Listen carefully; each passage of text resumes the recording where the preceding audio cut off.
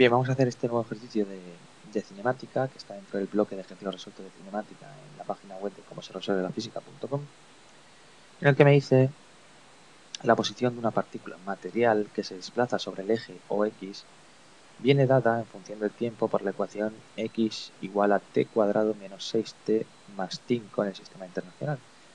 Unidades del sistema internacional. Me dice hallar el espacio recorrido por dicha partícula en los 5 primeros segundos de su movimiento. Bueno, aquí vamos a ver, vamos a resolverlo de dos formas. Por un lado, gráficamente.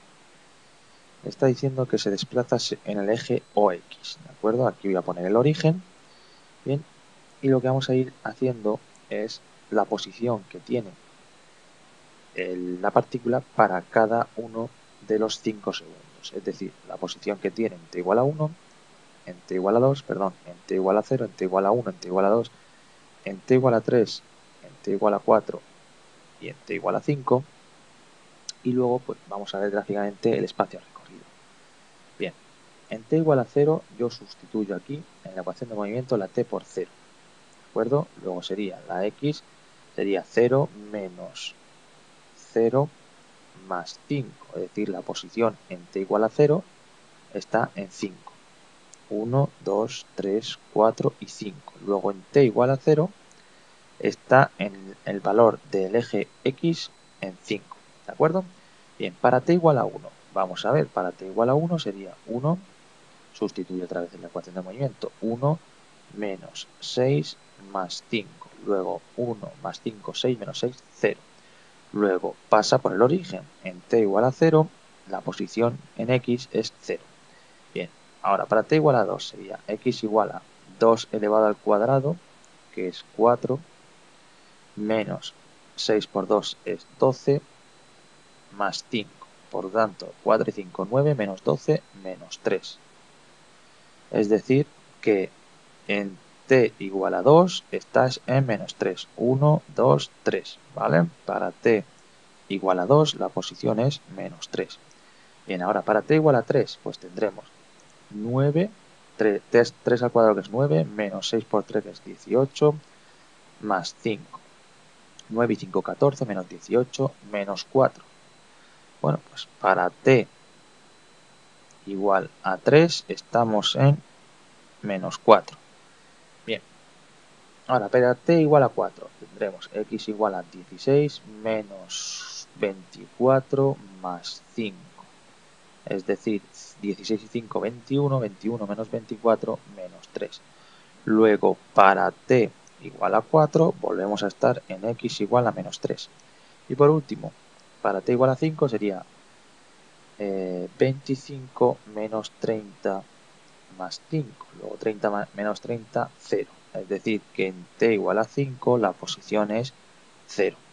Bien, vamos a ver lo que hace el móvil. Estamos aquí, en t igual a 0 estamos en la posición 5. Bien, aquí me he equivocado porque esto era t igual a 1. Bien, continuamos. Tenemos en t igual a 0 estamos aquí. Y en t igual a 1 estamos aquí. Luego, ¿qué ha hecho el móvil? El móvil se ha ido para allá. ¿vale? Y ha avanzado 5 unidades, ¿de acuerdo? Luego ya tenemos 5. Después, en t igual a 2, ¿dónde estamos? En t igual a 2 estamos aquí. Luego sigue el movimiento hacia acá.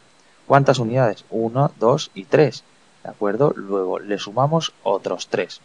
Y después, en t igual a 3, ¿dónde estamos? Estamos aquí. ¿Cuánto hemos avanzado? Otra vez el movimiento hacia allá. ¿Cuánto? Una unidad. Luego, más 1.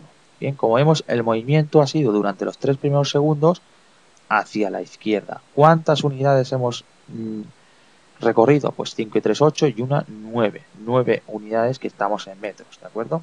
9 metros, bien. Ahora, en t igual a 4, ¿dónde estamos? Pues en t igual a 4 volvemos a estar aquí. ¿Cuál ha sido el movimiento? Pues ha sido ahora hacia la derecha, ¿de acuerdo? ¿Cuántas unidades? Una, pues una unidad. Bien, y ahora, en t igual a 5, ¿dónde estamos? En t igual a 5, como vemos aquí, ¿de acuerdo? Estamos en el origen. Luego sigue siendo hacia la derecha. ¿Cuántas unidades? Una, dos y tres. Luego otras tres unidades, por lo tanto cuatro metros. Bien, lo que quiero que veáis es que en los tres primeros segundos se desplaza hacia la izquierda.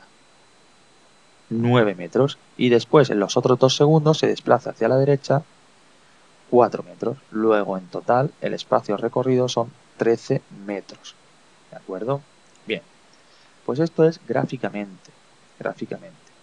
Ahora, si nosotros lo queremos hacer mediante la ecuación del movimiento, nosotros sabemos que eh, la velocidad es la derivada de la ecuación del movimiento, es decir, la derivada de x respecto del tiempo. Bien, voy a derivar la, la ecuación del movimiento. Sería respecto del tiempo 2t menos 6. A ver, voy a borrar que no estoy escribiendo bien. Sería 2t menos 6 eh, y 5 que es 0. Bien, esa es la ecuación de la velocidad. ¿Para qué valor de t esa velocidad se hace 0? Pues yo esta ecuación de la velocidad, 2t menos 6, la igualo a 0. Es decir, t igual a 6 partido por 2, por lo tanto 3. 3 segundos. Es decir, me está diciendo que yo, yo llevo una velocidad y a los 3 segundos esa velocidad se hace 0. ¿De acuerdo? ¿Qué quiere decir eso? Pues quiere decir que eh, la velocidad cambia de sentido. Cambiamos de sentido en el recorrido. Vamos, como vemos aquí gráficamente, veíamos que iba hacia la izquierda y a los 3 segundos la velocidad, el móvil se para ¡pum! y empieza el recorrido hacia la derecha. Eso es lo que me indica igualar la velocidad a cero. Y sé que instante la velocidad se hace cero y por lo tanto cambia de sentido. ¿De acuerdo? Bueno, pues esto me quiere decir que hay que el movimiento hay que dividirlo en dos plazos. Uno que va que es el que va hacia la izquierda, que sería desde t igual a 0 hasta t igual a 3, y otro que es el que va hacia la derecha, que es desde t igual a 3 hasta t igual a 5. ¿De acuerdo? Bien, pues voy a hacerlo así. Sería, eh, bueno, sería, lo de la derivada de velocidad era simplemente para que entendieseis eso, pero al final se hace mediante esto, hacer el plazo este desde aquí, desde t igual a 0 hasta t igual a 3 y después desde t igual a 3 hasta t igual a 5, ¿de acuerdo? Y sumarlo de forma que me dan los dos recorridos serían 9 más 4, 13, 13 metros.